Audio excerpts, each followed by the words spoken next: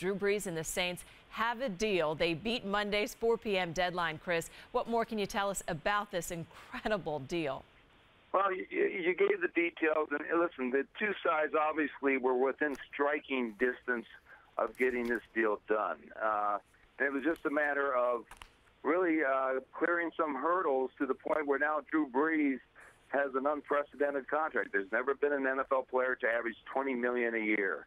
There's never been an NFL player to get 40 million dollars guaranteed in year one, 55 million after year two, and uh, 60 million in the first three years. And you would have to say that uh, they were close enough to close the gap, and that's what happened. Uh, you know, according to my sources, you know, Mickey Loomis, the general manager of the Saints, and Tom Condon, the agent for Drew Brees, worked very hard the last 24 hours, and finally Brees uh, basically signed off on it. Even though it's a, a verbal agreement, Drew still has to take a physical and sign a contract, I believe, uh, for this to be finalized. But it it is the biggest contract in terms of the average per year, 20 million, the amount of money that he'll be getting the first uh, year, two years, three years, and uh, you know you would have to guess that Aaron Rodgers is happy too because he'll probably be getting a new deal in another year or two himself. That was my next question. How does this change precedent going forward for others at the position, Chris? What, what's that? How does this change the precedent going forward for other quarterbacks at the position? Well, well I mean, it, it, it, it changes it for the ones who are playing at a high, high level. I mean, a guy like Drew Brees, uh, we, we talk about all the statistical numbers, but he's won more games. The Saints have won more games during that time, and he did win a Super Bowl. Uh, you know, on average, Peyton Manning, you know, is, is at 19.2 million, and we know he did that without even what you would say bidding, you know, having teams bid against each other. And, and of course, Drew, you know, his only leverage was to exercise the fact that hey, you, you may have franchised me, but I have no plans to show to training camp and keep you guessing as to when I'm going to show. But the bottom line is, is that Drew intended to play for the Saints. He loves playing for the Saints. We know what he's done for the New Orleans community. So when you think of everything he did on and off the field, uh, you know, it's not a surprise that he got these numbers, and it won't be a surprise when a guy like Aaron Rodgers surpasses him at some point. Chris, as I'm reading the notes here further, in 2013, the Saints do have a window that they could release him. Could you explain that a little bit? Well, yeah, these are these deals are this deal's written like this. So he's getting forty million dollars in year one.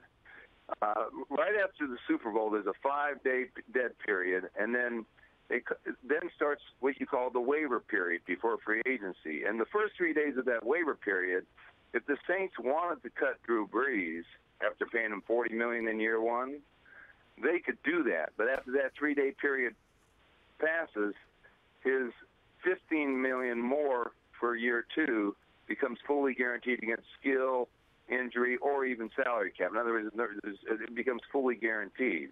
So yes, after year one, if if uh, they didn't, uh, you know, didn't think that Drew could play anymore, or he, or he had a catastrophic injury, technically there's a three-day window in which they could cut him.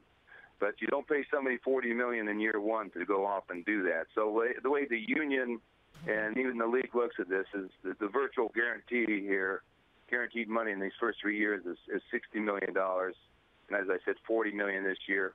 55 million in the first two years, and the average on on the, on the deal is 20 million per year.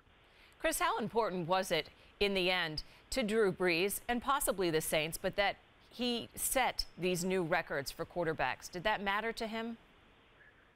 I, you know, I don't.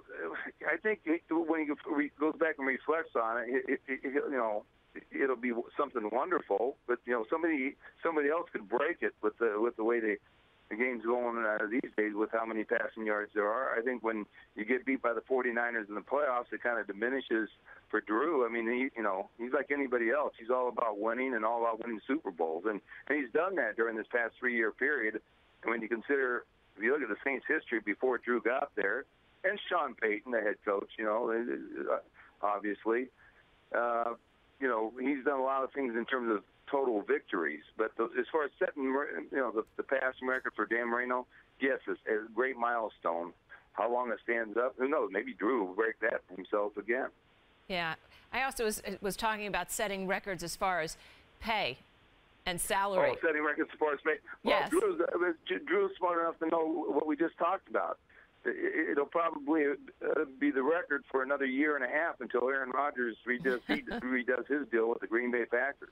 All right. So that's that's always why, uh, you know, I think sometimes we make a little bit too much of it, but it is a very good payday, and it's good news for Drew Brees. It's good news for uh, the Saints. Good news for the New Orleans community, and I can tell you, and I'm in Louisiana right now, that uh, it's it's it's the number one question I've been getting for the past 24 hours.